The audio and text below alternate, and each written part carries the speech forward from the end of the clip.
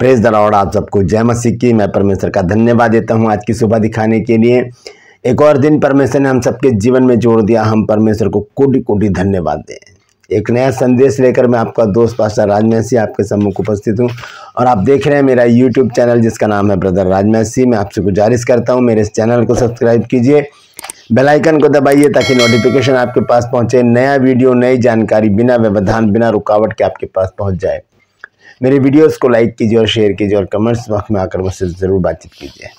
Please दराउड आज का जो संदेश है आ, मेरी एक बहन है आ, मेरी सब्सक्राइबर हैं जिनका नाम है आ, रीटा ब्राउन। उन्होंने कल एक सवाल पूछा था मेरे से वो कुछ भूल गई शायद तो वो पूछ रही थी प्रकाशित वाक्य के सात धन्य वचन प्रकाशित वाक्य के सात सात धन्य वचन। उनको मिल नहीं रहे थे मैंने इस पर एक वीडियो बनाया था शायद वो वीडियो भी नहीं उनको नहीं मिला। तो मैंने वो वीडियो भेजने से अच्छा समझा कि मैं एक बार फिर से इस पर एक वीडियो बनाकर आप सबको बताऊँ कि प्रकाशित वाक्य में ये सात धन्य वचन कहाँ कहाँ पर लिखे हैं। तो पूरा संदेश सुनकर आप इस वचन को समझिए और इस वचन को शेयर कीजिए और नोट कर लीजिए क्योंकि ये आपके चर्च में या कहीं पर भी प्रचार करने के काम आएगा। प्रेज द लॉर्ड ट्रूपर्स में आज का सवाल है कि यहुन्ना किस टापू पर फेंक दिया गया था? यानी कि यहुन्ना ने किस टापू पर प्रकाशित वाक्य की पुस्तक लिखी? जानते हैं तो कमेंट्स में लिख दीजिए, नहीं तो डिस्क्रिप्शन में आपको इस सवाल का जवाब मिल जाएगा। प्लीज़ द लॉर्ड ये मेरा नंबर है और अगर आप चाहते हैं हमारे कॉलेज की बुक्स हासिल करना, उसे परचेज करना चाहते हैं तो इस नंबर पर आप व्हाट्सअप कीजिए। व्हाट्सअप कीजिए व्हाट्सअप कीजिए। कॉल मत कीजिएगा क्योंकि बहुत से लोग कॉल करते हैं तो कॉल पे मैं बता नहीं पाता हूँ। गुजारिश है आपसे, निवेदन है कि आप मुझे व्हाट्सअप कीजिए कि मुझे आपकी बुक चाहिए। पूरा पूरा, पूरी जानकारी उसी समय आपको मिल जाएगी। प्रेज द लॉर्ड एक छोटी सी प्रार्थना करते हैं, फिर आज के वचन में चलेंगे। प्रभु जी, मैं धन्यवाद देता हूँ आज की सुबह दिखाने के लिए और विनती करता हूँ, प्रभु, आज के वचन को भी शेयर करने मेरी मदद सहायता करें, मेरे होठों को, मेरे दिल दिमाग को छू कर ब्लेस कर, मेरी आत्मा, मेरा शरीर तेरे ही कब्जे में रहे ताकि बोलने वाला मनुष्य नहीं मिल तेरा आत्मा हो। जो भी गुड़ भेद की बातें आज के वचन में छिपी हैं, वो हम पे प्रकट करना ताकि उन बातों को हम जाने और अपने जीवन को उसी के अनुसार गुजारें, प्रभु। जितने भी लोग इस वचन को देख रहे हैं, सुन रहे हैं, उन सब पर मैं तेरी आशीष बोलता हूँ प्रभु। हर एक को आशीषित कर, हर एक की रोग, बीमारी, चिंता, परेशानियाँ, दुख, तकलीफें, लड़ाई, झगड़े, मनमुटाव, बांझपन, कर्जा, नशा, बेरोजगारी, कमी, घटिया, बुरी, बीमारी, तलाक की समस्याएँ अपने बच्चों के घर से, परिवार से दूर कर दे प्रभु। जो लोग खो गए हैं प्रभु जी, उन्हें भी उनके घर तक पहुँचा ताकि उन घरों में भी आनंद मनाया जाए। धन्यवाद देता हूँ प्रभु, तेने मेरी प्रार्थना को सुन लिया। प्रभु यीशु के नाम से मांगते हैं। आमीन। प्रेस द लॉर्ड तो आइए आज के संदेश को शुरू करने से पहले मैं एक ज़रूरी सूचना आपको देना चाहता हूँ कि एवरी सैटरडे रात को साढ़े आठ बजे मैं लाइव आता हूँ जूम पर और संदेश होता है चालीस मिनट का। अगर आप उसमें शामिल होना चाहते हैं पार्टिसिपेट करना चाहते हैं तो इसी नंबर पर व्हाट्सएप कीजिए और लिखिए कि मुझे लिंक भेजिए सैटरडे मीटिंग का। सैटरडे को आपको लिंक भेजा जाएगा और आप हमारे साथ जुड़ सकते हैं। और अगर आप दिल्ली में रहते हैं और आप चाहते हैं हमारे यहाँ पर आना चर्च आना तो उसके विषय में भी इसी नंबर पर व्हाट्सएप का आपको करना है कि मुझे आपके चर्च आना है तो आप का हम स्वागत करते हैं। तो ज़रूर ऐसा, ऐसे कामों में भाग लीजिए ताकि हमारी आत्मिक उन्नति हो। प्रेस द लॉर्ड थोड़ा गला मेरा ख़राब है तो इसके लिए मैं माफ़ी चाहता हूँ, क्योंकि बार बार मुझे ऐसे करना पड़ेगा। तो आज का जो संदेश है, वो बहन रीटा ब्राउन ने पूछा था कल कि अगर आप कर सकते हैं तो कीजिए तो लेकिन आज मैं चाहता हूँ कि ये बात मैं बताऊँ, क्योंकि ये तो बहुत ही आसान, मेरे लिए तो आसान है, क्योंकि मेरे पास ये नोट किया हुआ है पहले से ही। तो हम देखते हैं प्रकाशित वाक्य में सात जो शब्द है, सात, एक वर्ड है सात वो कितनी बार आया? चौवन बार फिफ्टी फोर टाइम्स चौवन बार सात शब्द अंक जो है, वो प्रकाशित वाक्य में ही आया है। वैसे तो बाइबल भरी पड़ी है सात अंक से। लेकिन प्रकाशित वाक्य की पुस्तक में ही चौवन बार सात शब्द आया है। और धन्यवाद जो है, धन्य की जो, धन्य वचन जो है, धन्य वचन, वो सात बार आए हैं। वो सात वचन कौन से हैं? आइए इसको हम देखेंगे। सबसे पहले हम देखेंगे प्रकाशित वाक्य एक अध्याय और उसके तीन पद में, सबसे पहले यहीं पर लिखा है। एक अध्याय तीन पद में यह लिखा है, धन्य है वे जो इस भविष्यवाणी के वचन को पढ़ता और वे जो सुनते हैं और इसमें लिखी हुई बातों को मानते हैं क्योंकि समय निकट है। ये पहला धन्य वचन है प्रकाशित वाक्य की पुस्तक का। तीन बातें इसमें जोड़ी गई हैं कि जो इस वचन को क्या करते हैं, धन्य वे जो इस भविष्यवाणी के वचन को पढ़ते हैं। पढ़ने वालों को धन्य कहा गया है और सुनने वालों को भी धन्य कहा गया है। दोनों लोग जो सुनते हैं वो भी, जो पढ़ते हैं वो भी, उन्हें भी धन्य कहा गया है। और तीसरी जो कैटेगरी है वो देखिए क्या है। और इसमें लिखी हुई बातों को मानते हैं मानते हैं। बहुत से लोग प्रकाशित वाक्य पढ़ने से डरते हैं। कुछ पुस्तकें ऐसी हैं बाइबल में जिसको लोग इग्नोर कर देते हैं एक श्रेष्ठ गीत की पुस्तक है। उसको भी गलत तरीके से लेते हैं लोग, जबकि वो यीशु मसीह और कलीसिया के विषय में है। प्रकाशित वाक्य से डरते हैं, क्योंकि इसमें बड़ी भयानक भयानक बातें लिखी हुई हैं आने वाले दिनों की। तो यहाँ पर लिखा है कि तीन बातें लिखी हैं।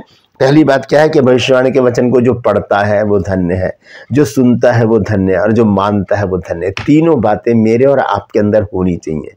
जो पढ़ते हैं वो भी धन्य हो जाएँगे, जो सुनते हैं वो भी धन्य हो जाएँगे, और जो इस पर चलते हैं, मनन करते हैं, गौर करते हैं इन वचनों पर, वो भी परमेश्वर की दृष्टि में धन्य होंगे। मनुष्य की दृष्टि में नहीं, पास्टर की दृष्टि में नहीं, परमेश्वर की दृष्टि में वो धन्य माने जाएँगे। प्रेज द लॉर्ड तो ये पहली बार आया है धन्य शब्द, प्रकाशित वाक्य एक अध्याय उसके तीन पद में।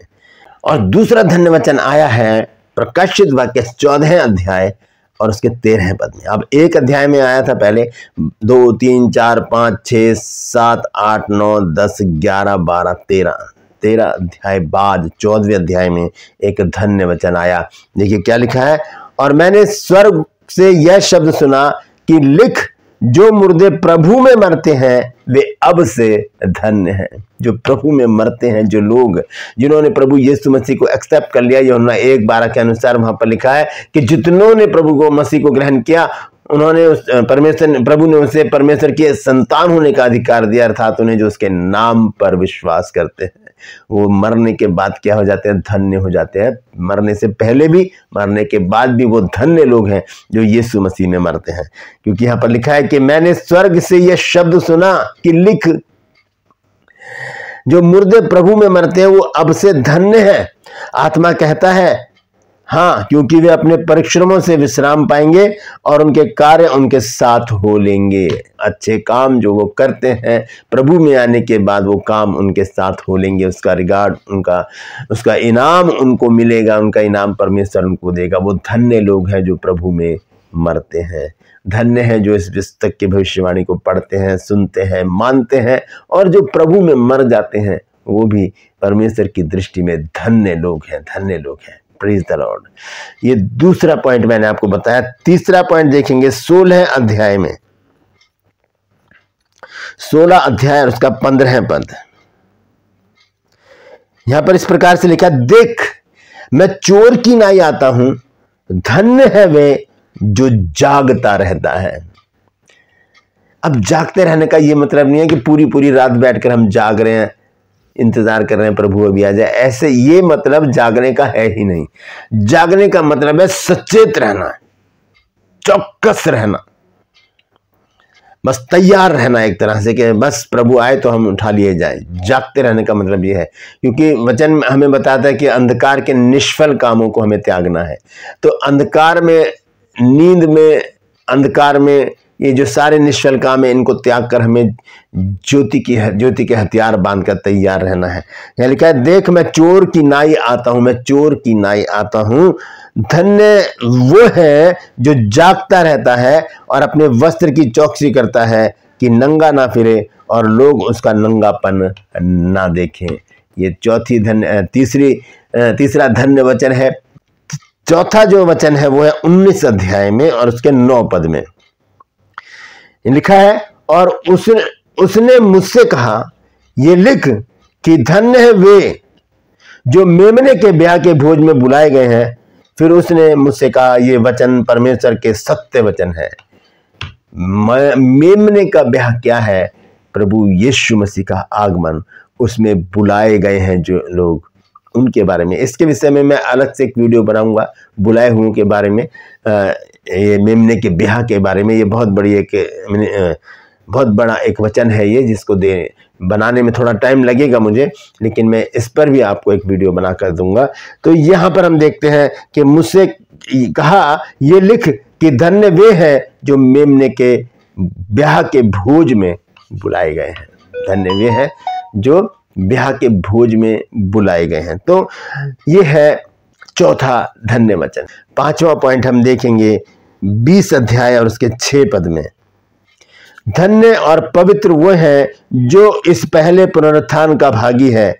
ऐसों पर दूसरी मृत्यु का कुछ भी अधिकार नहीं, पर वे परमेश्वर और मसीह के याजक होंगे और उसके साथ हज़ार वर्ष तक राज्य करेंगे, हज़ार वर्ष तक राज्य करेंगे।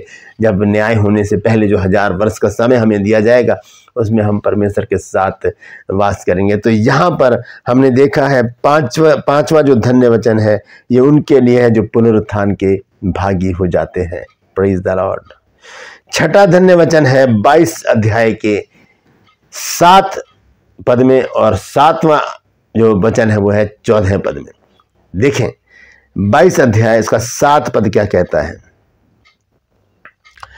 देख मैं शीघ्र आने वाला हूँ। धन्य है वो जो इस पुस्तक की भविष्यवाणी की बातें मानता है। भविष्यवाणी की बातें। वहाँ तो लिखा है कि जो वचन को मानता है, एक के तीन में लेकिन यहाँ पर लिखा, भविष्यवाणी की बातों को मानता है। ये नहीं कि इग्नोर कर देता है, सोचता कि ये तो कब लिखा है तो पता नहीं कब पूरा होगा, लेकिन ये तो एक एक बात जो है, वो पूरी होगी बाइबल की। तो ये छठा पॉइंट हमने देखा है कि धन्य वे हैं जो इस पुस्तक के भविष्यवाणी को मानते हैं। इसी में चौदह पद जब हम देखते हैं वहाँ पर सातवीं और आखिरी धन्य वचन है। सातवां और आखिरी धन्य वचन है। लिखा धन्य वे हैं जो अपने वस्त्र धो लेते हैं, क्योंकि उन्हें जीवन के पेड़ के पास आने का अधिकार मिलेगा और वे फाटकों से होकर नगर में प्रवेश करेंगे, नगर में प्रवेश करेंगे। वो फाटकों में होकर नगर में प्रवेश करेंगे। नगर क्या है? नया यरूशलेम, जिसके लिए हमें तैयारी करनी है। क्योंकि परमेश्वर का वचन हमें बताता है कि हमें क्या करना है, परमेश्वर के आगमन की तैयारी करनी है। क्योंकि हम जानते हैं कि प्रभु यीशु मसीह का वचन, परमेश्वर का वचन, पवित्र शास्त्र, पवित्र बाइबल, ये बाइबल हमको बताती है कि प्रभु यीशु मसीह का आना बहुत जल्द है, बहुत निकट है। तो हमें क्या करना है? तैयारी करनी है। तो बहन रीटा ब्राउन, मैं आपका धन्यवाद देता हूँ कि आपने एक बार फिर से मुझे प्रेरित किया कि इस वचन को मैं आप तक लेकर आऊँ। अगर आपको ये बातें मिल गई हैं तो आप नोट कर लीजिए और इस वचन को शेयर कीजिए ताकि और भी लोग इन बातों को जाने, क्योंकि ये सात वचन हैं जो हमें दिए गए हैं। मैं दोबारा से रिपीट कर देता हूँ। सबसे पहले हम देखते हैं प्रकाशित वाक्य एक अध्याय और उसके तीन पद में लिखा है, धन्य वे हैं जो इस भविष्यवाणी के वचन को पढ़ता है और वे जो सुनते हैं और इसमें लिखी हुई बातों को मानते हैं क्योंकि समय निकट आया है, समय निकट आया। इसके बाद हम सीधे चौदह अध्याय में जब हम जाते हैं तो वहाँ पर चौदह अध्याय के तेरह पद में जो है, वो दूसरी, दूसरा धन्य वचन है।